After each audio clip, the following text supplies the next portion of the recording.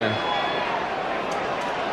with a sense of injustice, but they've got the free kick here, and uh, certainly it's in a position which Henry will like. Well, the two front men with a goal apiece are over the ball.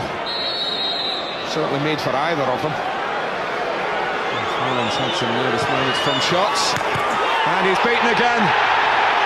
Henry just stands and waits for his teammates to come and congratulate the master. Right, sense perfect. Anything that hits the woodwork and ends up in. Just how late does he see it? How quickly does he move for it? It's a brilliant free kick. It's got bend, it's got accuracy, it's got everything you need, and enough pace. And I think the goalkeeper moves quick enough, but the quality's there for all to see. This boy's just different class. Different class. World class. Yeah. And even that might not be good enough to describe him. Universal class. Yeah, I'll give you that.